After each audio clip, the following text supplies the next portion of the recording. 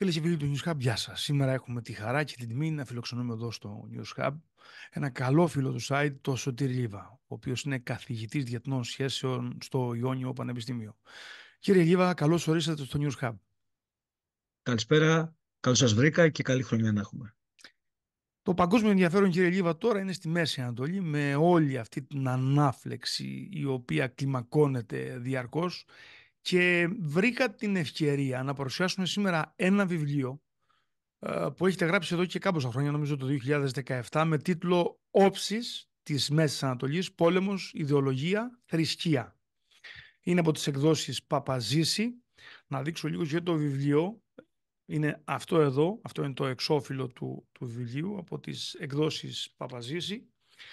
Ε, ομολογώ ότι με εντυπωσίας γιατί επειδή είναι γραμμένο το 2017, πολλά πράγματα έχουν ε, παρουσιαστεί, έχουν προβλεφθεί δηλαδή από τότε, όχι με ακρίβεια η εξέλιξη, το περιβάλλον το οποίο ε, δημιουργούνται και ήθελα να ξεκινήσουμε κάτι που λέτε στον πρόλογο. Δηλαδή, ο όρος Μέση Ανατολή δεν είναι μόνο ένας γεωγραφικός προσδιορισμός, αλλά χαρακτηρίζει μία σειρά από πράγματα, δηλαδή συνήθειες, έθιμα, οικονομία, διεθνείς σχέσεις, θρησκευτικές ιδιαιτερότητες και ούτω καθεξής.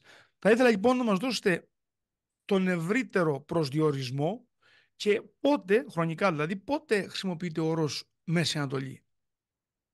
Ο όρος καταρχάς αυτός καταλαβαίνετε ότι ε, προκαλεί ένα ενδιαφέρον αν το ψάξει κανείς και το κοιτάξει λεκτικά ε, γιατί μιλάμε για Μέση Ανατολή. Άρα αυτή η λέξη Μέση Ανατολή σημαίνει ε, ότι πρέπει να υπάρχει μια εγγύς και μια από Ανατολία. Η από Ανατολή προφανώς είναι η Κίνα, η Ιαπωνία, εννοείται αυτό το πράγμα, αλλά ε, ποια είναι η εγγύς Ανατολή ε, για να υπάρχει και μια Μέση Ανατολή.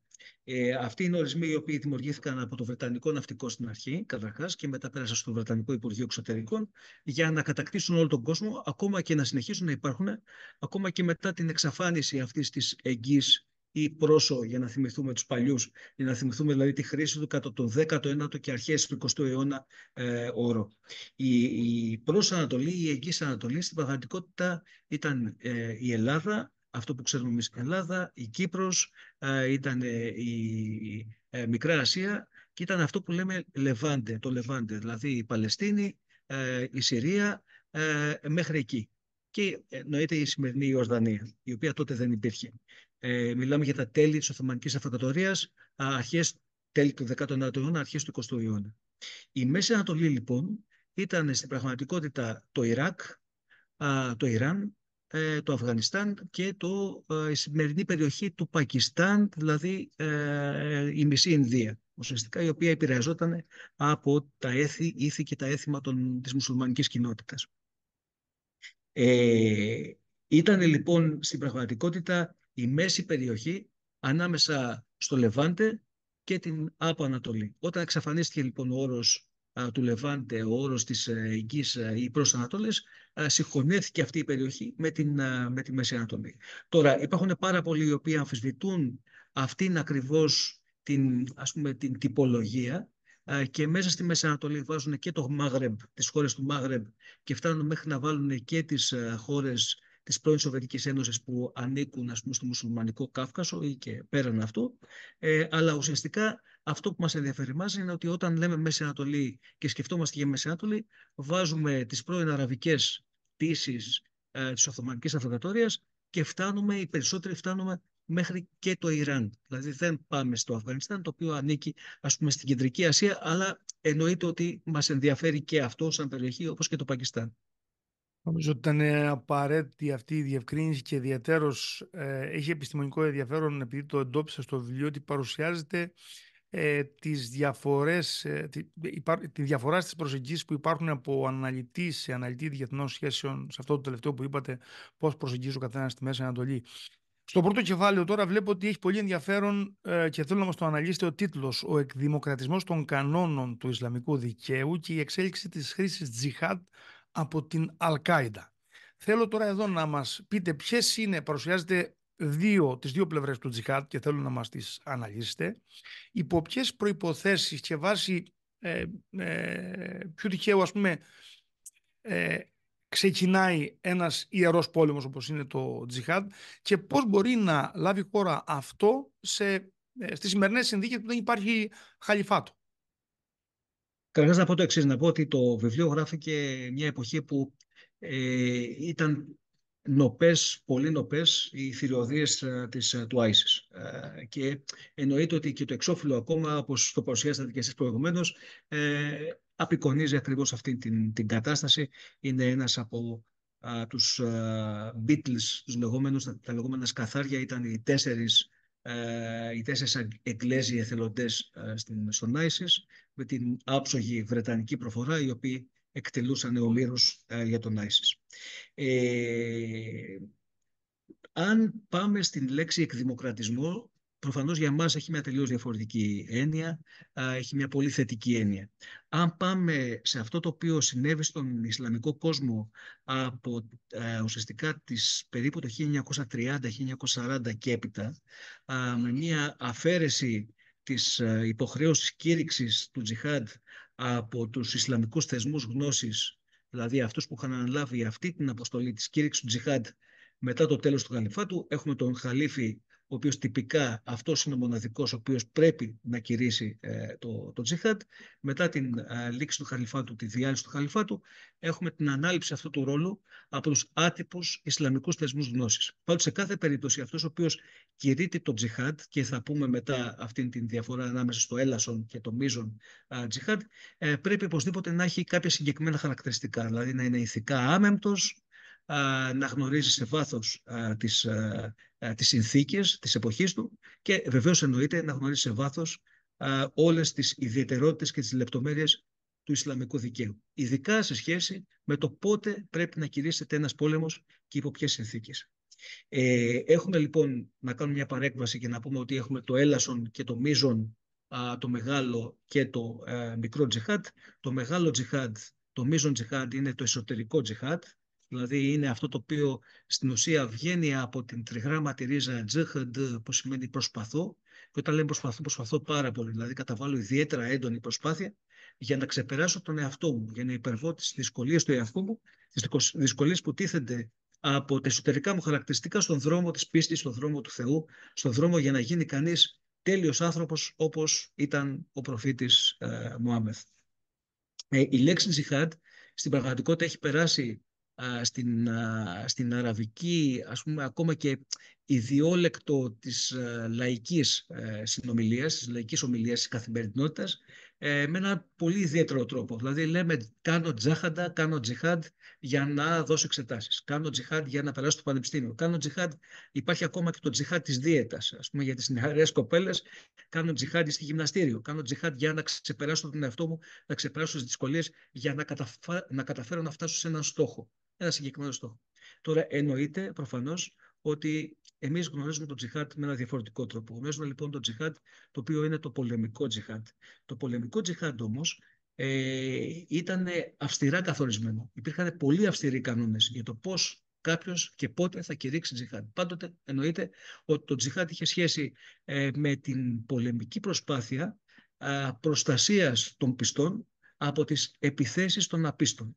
Τώρα εννοείται ότι τίθεται η ερώτηση αν αυτός ο πόλεμος είναι αμυντικός, πώς οι μουσουλμάνοι κατάφεραν και κατέκτησαν όλοι ουσιαστικά την γνωστή οικουμένη ξεκινώντας από την Μέκα και την Μεδίνα και φτάνοντας μέχρι την Ισπανία ή μέχρι την Ενότητα. Να το δούμε και λίγο παρακάτω αυτό, γιατί ε, το αναλύεται. Να το δούμε και παρακάτω. Είναι και στοιχείο, ας πούμε, το Ισλάμ ο πόλεμος. Ε, αλλά αυτό το οποίο συνέβαινε είναι το εξής, ότι κάποιες κοινότητες μουσουλμάνων φεύγανε, πηγαίνανε σε κάποιες άλλες περιοχές, πηγαίνανε, μένανε δηλαδή μαζί με απίστους, μέσα ολικά απίστους, ε, και όταν χρειάζονταν προστασία έπρεπε να πάνε να τους προστατεύσουν, άρα γινόταν τζιχάντ για να τους προστατεύσουν και με αυτόν τον τρόπο ή αν θέλει κανείς να το πει ακόμα και με αυτό το τέχνασμα, κατελήφθη μια τεράστια περιοχή του γνωστού κόσμου.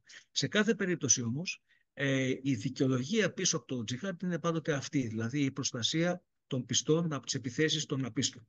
Τώρα, κάποια στιγμή α, μέσα από την α, προσπάθεια, την νοητική, τη διανοητική του Σάγετ Κούντμπ του μεγάλου διανοητή των αδερφών μουσουλμάνων, φτάνουμε στην, ας πούμε, στην, στο συμπέρασμα ή φτάνουμε στη σκέψη το ότι κάποιες στιγμές, σε ιδιαίτερες περιπτώσεις, όταν βρισκόμαστε σε μια περίπτωση όπως αυτή η σημερινή κατάσταση της τεράστιας επίθεσης κατά της κοινότητας των, των πιστών, ε, σε μια ε, κοινωνία η οποία θυμίζει την προϊσλαμική κοινωνία της άγνοιας, και όταν λέμε της άγνοιας, δηλαδή της ηθικής σύψης, της, του ηθικού α, ξεπεσμού, τότε σε αυτήν την περίπτωση οι πιστοί πρέπει να κάνουν και τζιχάντ κατά των κυβερνώντων τους, κατά των κυβερνητών τους, κατά των τυράννων αυτών, οι οποίοι έχουν αφήσει την κοινωνία να φτάσει σε αυτή την κατάσταση της ύψης, της άγνοιας και του ηθικού εκπέσμου. Παρουσι, παρουσιάζεται όμως ότι υπάρχουν ε, διαφορές στον τρόπο που προσεγγίζει η κάθε τρομοκρατική οργάνωση του Τζιχάντ. Δηλαδή υπάρχουν διαφορές μεταξύ του, της Αλκάιντα του ISIS, των αδελφών μουσουλμάνων και της Χαμάς. Βεβαίως, βεβαίως, Υπάρχει μια εξέλιξη, η οποία όμως εξέλιξη δεν μπορεί να νοηθεί σαν γραμμική. Δηλαδή, ε, κάθε φορά, η μία, ε, το κάθε σκαλοπάτι της ε, μίας εξέλιξης είναι σαν να κατά, κατά κάποιο τρόπο να καταργεί ή να διαγράφει την προηγούμενη βαθμίδα εξέλιξη, το προηγούμενο σκαλοπάτι. Άρα, ε, ας πούμε, για παράδειγμα, και είναι κατανοητό αυτό, τους μεγαλύτερες και σκληρότερες μάχες τις έδωσαν και όλες τις άλλες μάχες, τις έδωσε το ISIS κατά της Αλκάιντα και Αλκάιντα κατά των αδερφών μουσουλμάνων και όχι μόνο α, διανοητικές μάχες, αλλά όχι μόνο στο επίπεδο ας πούμε, των μεσαγωγικά ιδεών, αλλά και στο πρακτικό επίπεδο της, ε, του, στο πεδίο της πάντως, πάντως είχε ενδιαφέρον κύριε Λίβα ο, μία, ε, κάτι που υπογραμμίζεται όλος ιδιαίτερος ότι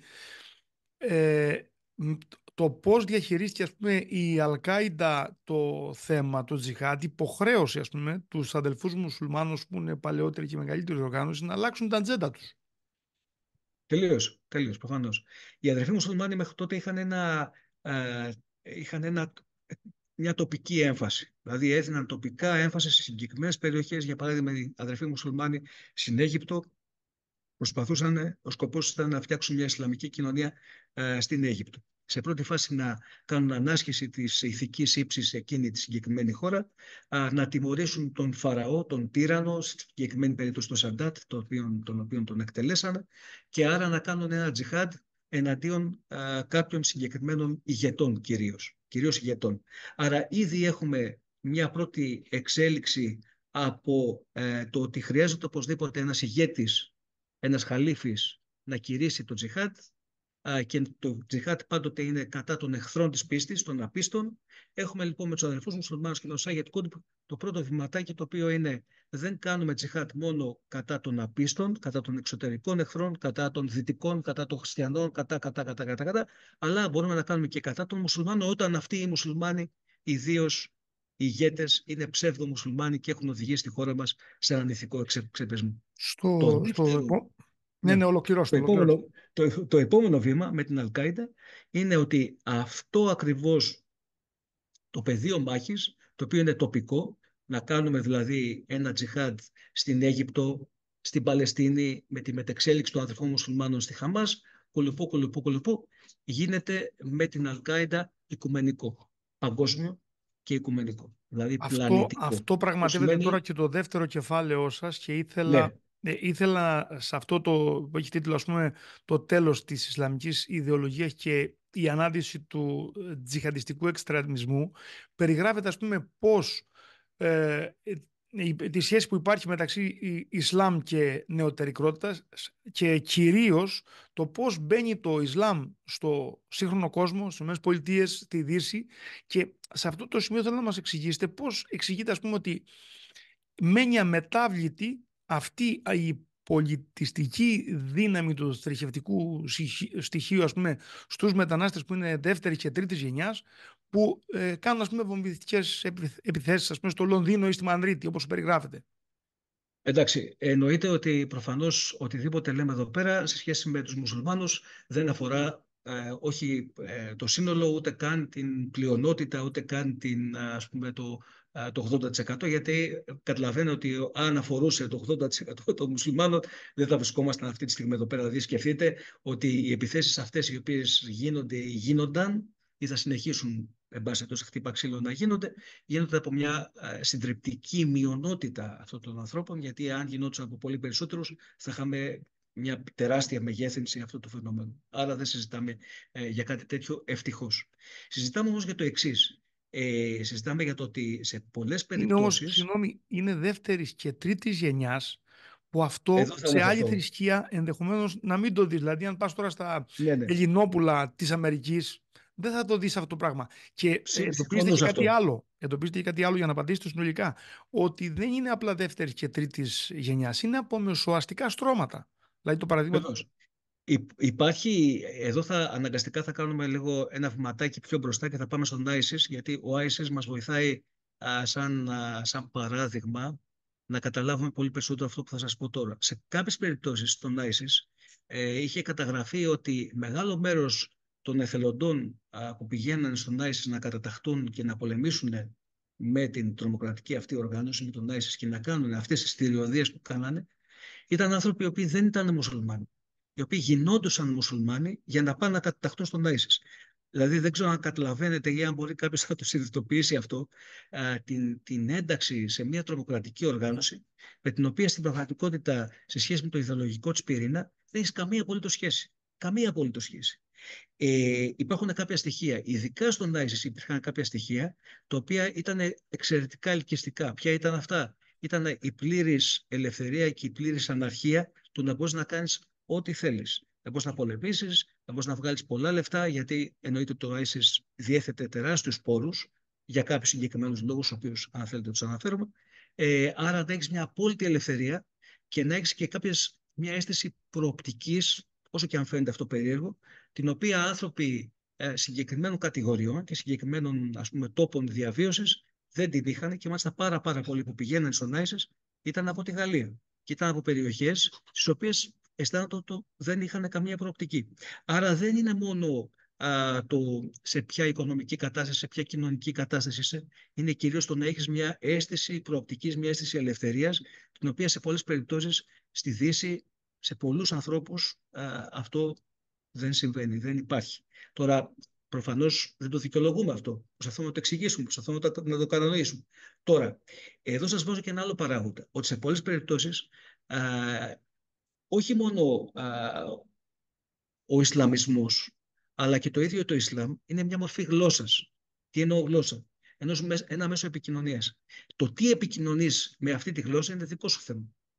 Το τι, πώς χρησιμοποιείς αυτή τη γλώσσα για να εκφράσεις τα ένστικτά σου, τις παρορμήσεις σου, τις, ε, την ε, αισθητική σου, την αίσθησή σου, το αυτό που θέλεις να κάνεις είναι δικό σου θέμα. Μπορείς να χρησιμοποιήσεις το Ισλάμ για να μιλήσεις σαν τον Αβερόη, τον Αβικένα, τον Ιπν Χαλτούν, τον Γαζάλη, ε, τον Ρουμί προφανώς, ε, όλους τους Σούφι ποιητές. Και εννοείται μπορείς να χρησιμοποιήσεις το Ισλάμ για να μιλήσεις μέσα εισαγωγικά ε, σαν τον Αλμπαγδάτη και σαν τον Άισις και σαν αυτούς τους ανθρώπους.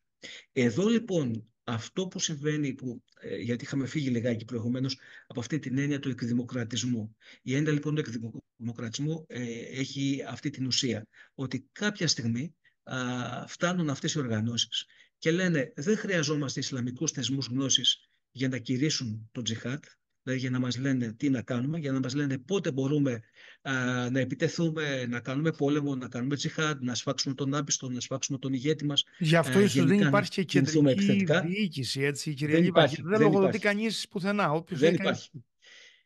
Φεύγουμε λοιπόν από το κομματάκι αυτό των Ισλαμικό θεσμό γνώσης. Δεν περιμένουμε κανένα από κανένα πανεπιστήμιο Αλάσχαρ ή από κανέναν μια, κάποιο σημαντικό ημάμι που να έχει κάποια γνώση των θεμάτων αυτών να μας πει τι να κάνουμε. Δεν πάμε καν στο Κοράνι, δεν πάμε καν ας πούμε στην uh, σούνα του προφήτη. Ε, αποφασίζουμε μόνοι μας γιατί η μόνη σωστή οδός, ο μόνος σωστός δρόμος είναι ο δρόμος της πράξης, της δράσης. Εδώ ακριβώς έρχεται ε, ένα βηματάκι η Αλκάιντα και ένα ακόμα πολύ μεγαλύτερο βήμα είναι το ISIS που λέει παιδιά κάντε ό,τι θέλετε. Πάρτε ένα μαχαίρι και βγείτε και σφάξτε τον διπλανό σας. Γιατί, γιατί έτσι πρέπει, γιατί αυτός είναι ο μόνος σωστός δρόμος του Ισλάμ.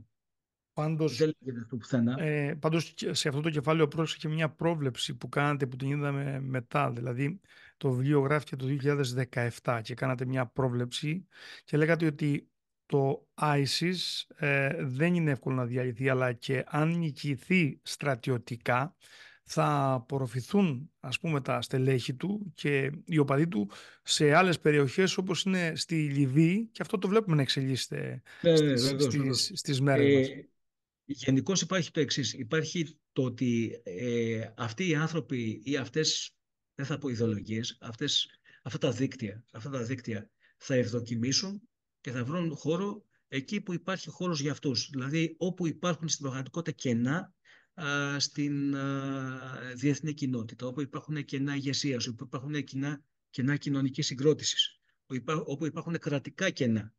Δηλαδή στο Μάλι, στη Μαυριτανία, στη Λιβύη, στην Ιεμένη δεν μπορούν να πάνε γιατί είναι οι Χούθη. Αλλά και εκεί βεβαίως καταλαβαίνετε ότι ε, υπάρχει μια μορφή ανταρτοπολέμου και υπάρχουν ε, τρομοκρατικά δίκτυα. Άρα όπου υπάρχει δυνατότητα να ευδοκιμήσουν στο Σινά, Υπάρχουν πάρα πολλές τέτοιες εκδηλώσεις οργανώσεων τέτοιων εκεί. Άρα, όπως παλιότερα υπήρχαν στον Κάφκασο.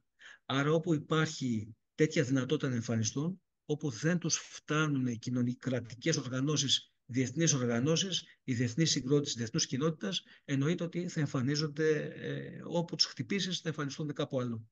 Και ε, το κυριότερο είναι το εξής: Το κυριότερο είναι ότι πλέον ε, δυστυχώς αυτού του είδους τα δίκτυα έχουν επιβάλει την, αυτό που λέμε την, την ιδιόλεκτό τους, την τρομοκρατική τους ιδιόλεκτο.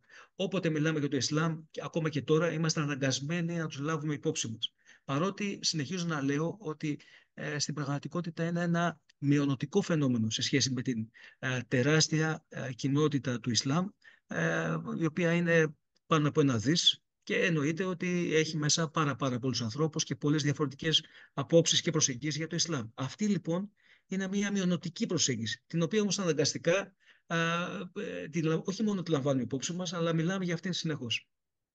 Βρίσκει όμως, ε, το, έχει το περιθώριο να αντλήσει περισσότερες δυνάμεις από το περιβάλλον, δηλαδή ε, από το πρωτογενές υλικό της κοινότητας. Δηλαδή αυτό το 20% που περιγράφεται, αν ε, έχει τις προϋποθέσεις και αν, βρίσκει το, αν έχει το περιθώριο να αντλήσει περισσότερα στοιχεία εξτρεμισμού. Γιατί ε, σε άλλες θρησκείες δεν, δεν βρίσκουμε τέτοια, τέ, τέτοιο μέγεθος εξτρεμισμού, ας πούμε, ή, ή είναι, είναι, σωστό αυτό, είναι σωστό αυτό που λέτε. Ε, έχει, είναι, οι απαντήσεις είναι διπλές ε, μάλλον η διπλή απάντηση. Η πρώτη απάντηση, το πρώτο σκέλος απάντησης είναι ότι ε, ναι, δυστυχώς επιβάλλει τον τόνο. Επιβάλλει τον τόνο ε, γιατί ε, ακριβώς αυτή η αντίδραση είναι τόσο βίαιη ε, και τόσο άγρια. Είναι ακριβώς αυτό που λέει, που λέει ο, ο Άλαντ Νάνι, ο εκπρόσωπος τύπου, ας πούμε, του ISIS, που έλεγε ότι δεν μας ενδιαφέρει να εξηγούμε αυτό το οποίο κάνουμε, γιατί στην πραγματικότητα η βία είναι η γλώσσα μας. Ο τρόμος είναι η γλώσσα μας. Άρα δεν μας ενδιαφέρει να εξηγήσουμε τίποτα. Δεν μας ενδιαφέρει να εξηγήσουμε γιατί κάνουμε αυτό το οποίο κάνουμε. Το δεύτερο είναι το εξής. Είναι ότι η γλώσσα αυτή, η ισλαμιστική, εξτρεμιστική, τζιχαντιστική και στην πραγματικότητα από ένα σημείο και μετά, ειδικά με τον Άισις, εγκληματική στην ουσία της ε, ε, γλώσσα, ε, δυστυχώς είναι η μόνη μορφή αντίδρασης για πολλούς ανθρώπους ε, που υπάρχει ενάντια σε ένα διεθνές σύστημα αδικίας έτσι όπως το βλέπουμε που το εκλαμβάνουν. Σας αναφέρω μόνο έναν ε, Γάλλο, μάλιστα ε, ξανθό εντελώς, δηλαδή καμία σχέση με μουσουλμάνο, ήταν από οικογένεια ε, Γάλλων, ε, μεγάλωσε σε, σε μπαλιέ, σε προάστια μαζί με ε, μουσουλμάνους κτλ. κτλ. Ε, μια κλασική περίπτωση ενός φτωχοδιάβολου που δεν είχε καμία Λιβιέ Ντιμού, ο οποίος δεν είχε καμία προοπτική στη ζωή του. Ε, πήγε, έγινε στρατιώτης, πολέμησε στη Σομαλία και γυρνώντας από τη Σομαλία με στρατιωτική εκπαίδευση ως μισθοφόρος είπε ότι κατάλαβα ότι δεν έχω τίποτα να χωρίσω από τους μουσουλμάνους αδερφούς μου και στην πραγματικότητα εχθρός μου είναι το σύστημα. Έγινε μουσουλμάνος, για να γίνει αρχηγός μιας τρομοκρατικής οργάνωσης, η οποία ξεκίνησε, η οποία ξεκίνησε μια σειρά α, ληστείων για να πάρουν χρήματα, για να, έχουν, για να κάνουν τρομοκρατικές επιθέσεις στη Γαλλία εναντίον του γαλλικού κράτους. Αυτός ο οποίος ήταν στην πραγματικότητα Γάλλος και ο οποίος δεν είχε καμία σχέση πιο πριν με το Ισλάμ. Όταν το συνέλαβαν και το ρώτησαν γιατί τα έκανες όλα αυτά, έδωσε την εξής απάντηση. Αν είχα γεννηθεί α, στην Ευρώπη το 1910-1920, θα είχα γίνει μηδενιστής. Αν είχα γεννηθεί στην Ευρώπη το 1960-1970 θα γινόμουν αναρχικός. Τώρα που γεννήθηκα εδώ, σε αυτή την εποχή, έγινε Ισλαμιστής. Δηλαδή καταλαβαίνετε ότι δεν πάει κανείς να δικαιολογήσει αυτές τις πράξεις, προφανώς. Αλλά ε, προσπαθούμε να καταλάβουμε το γιατί κάποιοι άνθρωποι γίνονται ε, μουσουλμάνοι για να γίνουν τρομοκράτες. Και πόσο ε. πολύ πιο εύκολο είναι αυτό για κάποιους οι οποίοι είναι ήδη μουσουλμάνοι να ριζοσπαστικοποιηθούν και να πάνε προς τα γη, απαντώντας σε μια φαινόμενη, σε μια πραγματική, σε μια υποτιθέμενη αδικία της κοινωνίας του διεθνούς συστήματος εναντίον τους. Επειδή το παρατηρείτε στο βιβλίο σας, θέλω να μας το εξηγήσετε λίγο εδώ. Ε, ε πιστεύετε ότι το Ισλάμ δεν έχει ε, εκκλησία; Δηλαδή δεν έχει μια οργανωμένη δομή που να μπορεί να καθορίζει τις λειτουργίες και να δίνει ας πούμε το ακριβές σύνορο στο τι είναι σωστό και τι είναι λάθος.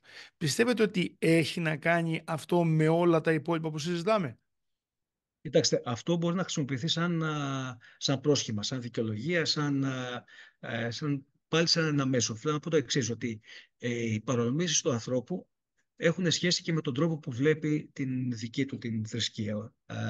Τα ενστικτά του, ο τρόπος που αντιδρά σε, κάποιες, ε, σε κάποια κοινωνικά φαινόμενα. Δηλαδή, κάποιοι άνθρωποι οι οποίοι είναι από τη φύση τους ειρηνικοί ή άνθρωποι οι οποίοι δεν θέλουν να βλάψουν ε, άλλους ανθρώπους ή οι οποίοι έχουν επιλέξει να βλέπουν το Ισλάμ σε, ένα, σε μια θρησκεία ειρήνης, όσο και αν αυτό μας φαίνεται περίεργο, δεν θα φτάσουν ποτέ στο σημείο να πούν ότι επιλέγουμε εμείς μια συγκεκριμένη ερμηνεία των κορανικών στίχων ή έναν τρόπο ο οποίος βλέπει το Κοράνι σαν μέσο πολεμικό ή το Ισλάμ σαν μια θρησκεία πολέμου.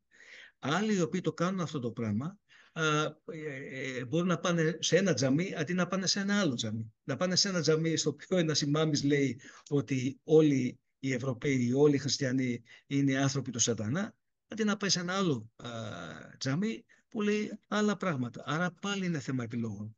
Καταλαβαίνω ότι για μας είναι λίγο δύσκολο να το καταλάβουμε αυτό, γιατί ακριβώς έχουμε συνηθίσει την έννοια ας πούμε, της οργανωμένης ε, θρησκείας και της οργανωμένης εκκλησίας, η οποία λέει κάτι συγκεκριμένο, αν και σε εμάς πάλι υπάρχουν εξαιρέσεις, αλλά υπάρχουν και άνθρωποι οι οποίοι ερμηνεύουν τη θρησκεία με διαφορετικό τρόπο. Εκεί λοιπόν αυτό το πράγμα πολλαπλασιάζεται το επί πάρα πολύ. Ε, ο καθένας μπορεί να πει κάποια συγκεκριμένα πράγματα.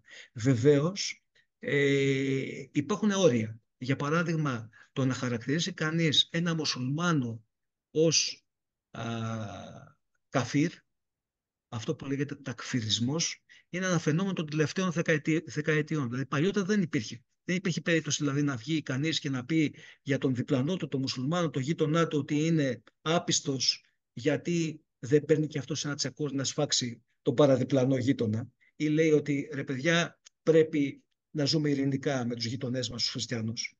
Μέχρι τώρα λοιπόν αυτό δεν συνέβη.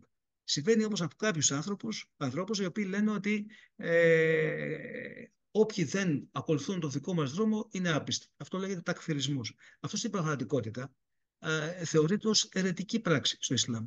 Παρ' όλα αυτά συνεχίζουμε να μιλάμε για αυτά τα φαινόμενα ε, γιατί πραγματικά είναι αυτά τα οποία προσελκύουν δυστυχώς το ενδιαφέρον και τη δική μας οπτική και όλου του κόσμου. Και εντάξει, μέχρι ενός βαθμού ε, σωστά το κάνουν. Εννοείται. Αναλύουμε αυτό το φαινόμενο ακριβώς για να δούμε τους τρόπους με τους οποίους και μπορούμε να παρουσιάσουμε ένα διαφορετικό Ισλάμ και μπορούμε ένα διαφορετικό, ένα πραγματικό Ισλάμ, το αληθινό Ισλάμ, το οποίο έχει μέσα του και στοιχεία πάρα, πάρα πολύ καλά, εννοείται.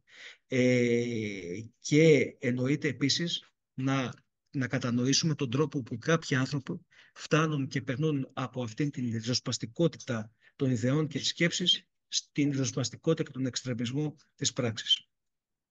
Στα 8 λεπτά που μας έχουν απομείνει για να ολοκληρώσουμε την εκπομπή μας, θέλω να ε, μας σχολιάσετε λίγο τις αντιθέσεις μέσα στο Ισλάμ, έτσι όπως τις καταγράφεται, με μια προσωπικότητα, με τον Σουνίτη ε, νομοδάσκαλο Σεΐχη Αλμπούτι, ο οποίος ένθερμος υποστηριχτής του Σιήτη Αλαουίτη Άσαντ στη Συρία, ε, τον υποστηρίζει. Και εδώ δημιουργείται ένα ερώτημα. Πώς, ας πούμε, ένας Σιήτης σαν τον Άσαντ επικαλείται επιχειρήματα έτσι, θρησκευτικής πίστης για να συσπυρώσει τον σουνητικό πληθυσμό εναντίον των σουνητών ανταρτών; Ε, αυτό, αυτό και μόνο το παράδειγμα σας δείχνει το πόσα διαφορετικά στοιχεία υπάρχουν ε, ε, στο Ισλάμ, ειδικά στις ε, μέρες μας, ειδικά στην δική μας την εποχή και πόσο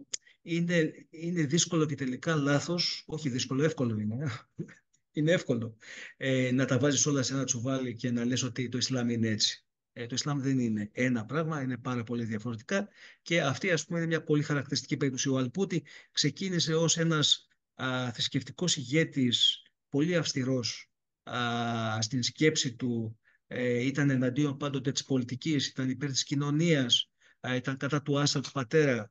Κάποια στιγμή ε, εννοείται ότι πλησίασε την εξουσία και από τη στιγμή που ανέλαβε ο, ο Άσαντ γιος, έγινε κατά κάποιο τρόπο ο μέντοράς του, ο θρησκευτικός πυλώνας α, της εξουσίας του, παρότι όπως είπατε ο Άσαντ, οι Άσαντ γενικώς είναι Αλαουίτες, είναι Σιήτες και κάτι τέτοιο είναι πάρα πολύ δύσκολο και να είναι το και μειοψηφία νομίζω στη Συρία. Βεβαίως, βεβαίως, βεβαίως είναι μειοψηφία. Βεβαίως είναι μειοψηφία. Στην, η Συρία είναι μια πολύ ενδιαφέρουσα χώρα. Ήταν και συνεχίζει να είναι πολύ ενδιαφέρουσα χώρα γιατί στην πραγματικότητα υπήρχε ένα σύστημα α, τρόμου ε, όλη η διαστρωμάτωση κοινωνική ήταν βασισμένη σε, ένα, σε μια κλίμακα τρόμου. Α, κάθε βαθμίδα αυτής της πυραμίδας, κάθε σκαλοπάτι αυτής ε, της πυραμίδας α, μισούσε και φοβόταν και έτρεμε τι θα συμβεί αν ανέβει κάποια άλλη από αυτές τις βαθμίδες από πάνω α, και κάνει αυτό το, το οποίο ε, θα μπορούσε να γίνει. Δηλαδή οι Σιήτες φοβόντουσαν την άνοδο των Σουνιτών. Α, το ίδιο μαζί τους ήταν και οι Αλαουίτες, ήταν και οι Δρούζοι, ήταν και λίγοι Χριστιανοί. Τι θα συμβεί αν ανέβουν από πάνω οι Σουνίτες; Άρα τους καταπιέζουμε για να μην ανέβουν από πάνω και μας κάνουν αυτό το οποίο α, φοβόμαστε όλοι ότι θα μας κάνουν. Ε, η σκέψη του, του Αλμπούτη ήταν ότι καλύτερα ένας τύρανος που γνωρίζουμε, όπως είναι ο Άσαντ, στην πραγματικότητα, ε, παρά μια χώρα σε χάος και παρά μια χώρα σε μια πλήρη κατάσταση ε, αναρχίας. Αυτό υπάρχει στην ε, σουνητική θεολογική σκέψη, αυτή δηλαδή η ρίση του Ιμπν Ταϊμίγια από τον 13ο αιώνα, που είχε ζήσει στην εποχή των μεγάλων μογγολικών κατακτήσεων, ότι προτιμούμε τον τύρανο αυτό που μας δίνει ασφάλεια και τάξη, παρά μια πλήρη κατάσταση αναρχίας στην οποία έχει οδηγήσει η επιθυμία του λαού για ελευθερία.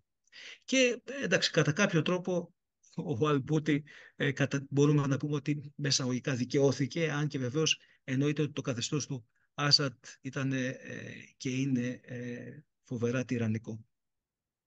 Ε, κλείνοντας, στο κεφάλαιο που ε, μιλάτε για τον αποκλεισμό, ε, τον αποκλεισμό και την αποκλειστικότητα, η διαρκώς μεταβαλλόμενη ναι. αλληλουχία της Ισραηλινο-Παλαιστινιακής διαμάχης, έχω κρατήσει μία φράση που έχετε στο βιβλίο σας του Αμερικανού Ισλαμολόγου Μάρσαλ Χόξτον, που λέει ότι σε κάθε περίπτωση το μεγαλείο ενός πολιτισμού θα πρέπει να, να προσδιορίζεται με βάση την επιτυχία στην αντιμετώπιση των ιδιαίτερων αδυναμιών που αναγκαστικά συνοδεύουν τα ξεχωριστά κατορθώματα της παράδοσης. Η ιδιαίτερη δοκιμασία του Ισλάμ έγκυται στο πώς μπορούν οι μουσουλμάνοι να απαντήσουν στο ζήτημα του πολέμου. Σε αυτό το κεφάλαιο δηλαδή περιγράφεται πώς το Ισλάμ έχοντας ως εγγενές στοιχείο την αποκλειστικότητα της αλήθειας πέρασε σε αυτό που, που είπατε και πριν από λίγο ότι όσοι είναι άπιστοι δεν μπορούν να είναι και όμως ε, τώρα σε αυτό το σημείο μιλάτε για τον, τον τρόπο που λειτουργήσαν που με νομοθετικό πλαίσιο στη Μέση Ανατολή ε, έφεραν θρησκευτικό και κοινωνικό μίσος, γετοποίηση των Εβραίων και ούτω καθεξής. Και με αυτό θέλω να κλείσουμε. Ε, η ρίση του, του Χότξον, μάλιστα είναι στο πρώτο βιβλίο, αναφέρεται ακριβώς στο ότι ε, κάθε κοινωνία, κάθε πολιτισμός, κάθε ιδεολογία, κάθε ας πούμε θρησκεία φτάνει στο απόγειο του μεγαλείου της αν καταφέρει να ισορροπήσει τις αδυναμίες οι οποίες είναι εγγενείς μέσα στον πυρήνα της και οι οποίες συνοδεύουν, οι οποίες συνοδεύουν τα κατορθώματά της. Ε, ας πούμε, αν μιλούσε κανείς για τον χριστιανισμό, είναι ένα θέμα η αγάπη. Δηλαδή μιλάμε για αγάπη και είμαστε μια κοινωνία η οποία εννοείται είναι ακριβώς το αντίθετο. Πώς μπορούμε να μιλάμε για μια χριστιανική κοινωνία αγάπης όταν στην πραγματικότητα κάνουμε το αντίθετο από αυτό; Ε, αν μιλήσουμε λοιπόν τώρα για, το, για το Ισλάμ είναι αυτό το τεράστιο θέμα. Μιλάμε για μια κοινωνία ειρήνης, υποτίθεται. η λέξη Ισλάμ αυτό σημαίνει, σημαίνει υποταγή στο Θεό και μέσω της, υποτα... της υποταγής, δηλαδή μέσω του Ισλάμ, φτάνουμε πού; Στο Σαλάμ, δηλαδή στην ειρήνη. Άρα η λέξη Σαλαμά Ισλάμ είναι ακριβώς στην πραγματικότητα μεταμόρφωση του Σαλάμ, της ειρήνης. Ε, βεβαίως το Ισλάμ είναι κάτι πολύ διαφορετικό. Άρα από μέσα της, από μόνη της αυτή ε, η θρησκεία έχει αυτήν την, ας πούμε, την εσωτερική αντίφαση. Πώς μπορούμε να φτάσουμε στην ειρήνη όταν στην πραγματικότητα έχουμε μια ιστορία συνεχών πολέμων, συνεχών κατακτήσεων και συνεχούς ας πούμε, συζήτησης με το φαινόμενο του πολέμου. Πώς μπορούμε δηλαδή ότι είναι ίδιο της αντιφατικότητας που έχει η ανθρώπινη φύση. Ναι, ναι, προφανώς. Αυτό συναντάται παντού. Συναντάται σε όλες τις κοινωνίες, σε όλες τις ιδεολογίες, όλες τις. Ε, από την άλλη μεριά, η έννοια της αποκλειστικότητας, ε, αν την προσδιορίσουμε στους Εβραίους ως έθνος, έχει σχέση με την αποκλειστική σχέση τους με το Θεό, ως περιούσιο λαός. Αυτή λοιπόν η αποκλειστικότητα, έτσι όπως πέρασε μέσα από αιώνες, για να μην πω χιλιοτηρίδες, εν πάση περιπτώσει, ε, μιας καταπίεσης, συνεχούς καταπίεσης, γενοκτονίας, πογκρόμ, γκαιτοποίησης, περιθωριοποίησης, ε, όπου οι Εβραίοι στην πραγματικότητα όχι μόνο είναι ένα αναπόσπαστο κομμάτι της ευρωπαϊκής, της δυτικής ευρωπαϊκής ιστορίας, αλλά συγχρόνως είναι και ο, ο αντίστροφος καθρέφτης για τη διαμόρφωση της ταυτότητας της έννοιας του τι είναι δυτικός, του τι είναι Ευρωπαίος, γιατί προφανώς για να καταλαβαίνετε, για να βγει ο Ευρωπαίος χρειάζεται ένα αντίστροφο κάτωπτρο το οποίο είναι ο, ο Εβραίος, σε συγκεκριμένη περίπτωση. Ότι δεν είναι ο Ευρωπαίος, είναι ο Εβραίος. Ο Ευρωπαίος έχει όλες τις θετικές αρετές, από την άλλη μεριά ο Εβραίος είναι το ακριβώς αντίθετο. Πάμε λοιπόν σε μια διαρκή κατάσταση αποκλεισμού, από την αποκλειστικότητα της σχέσης με τον Θεό πάμε σε μια διαρκή κατάσταση, διαρκή ιστορία και περιπέτεια αποκλεισμών.